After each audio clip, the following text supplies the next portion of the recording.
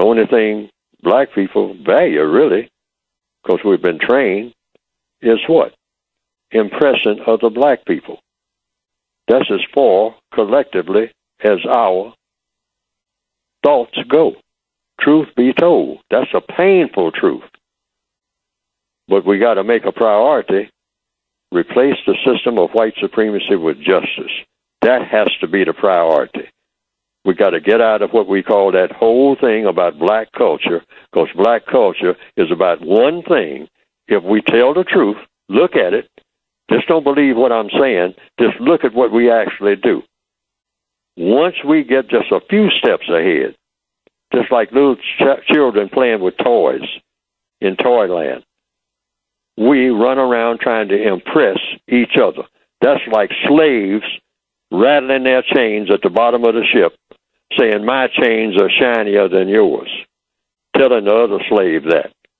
And sometimes get into a bragging thing that leads to an argument. And there they are banging each other over the head with their chains. And we are still in that state of mind in 2016, worldwide, truth be told. We don't have any ambition that goes beyond one black person trying to impress another black person any way that we can, including just going in and shooting up the place. That makes an impression. I killed him. I killed a whole bunch of black guys over there in the bar tonight, and I got away. Ha ha ha. Hooray for me. Now I got a reputation around the hood. That's as far as our minds go. And in business, the same thing.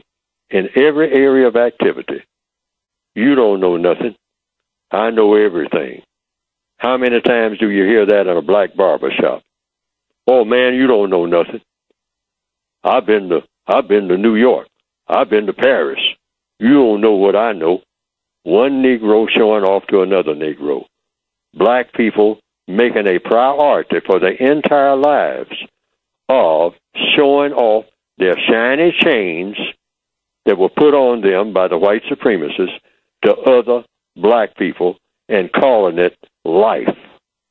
That's what my life is all about. I was able to impress a few of my so called friends and a few people who didn't know me who got to know me now, and they are all black, and they are impressed with my so called progress, and hooray for me. I have arrived in heaven on earth. Truth be told, that is as far as our ambition goes.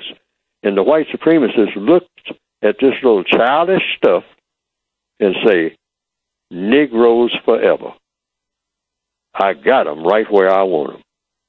Because our ambition is to conquer the entire universe if we can, and everything in it. And if there are 50,000 universes out there, we're going to conquer them too. Even if there's nobody on those planets, we'll just call them ours anyway. Why? Because we are super people. We don't have shallow minds. We don't have shallow goals. A Negro, all he wants to do is strut up and down the block and show off the little things that I allowed him to have, show these things off to some other downtrodden Negro and say, I'm better than you. And that's good enough for me.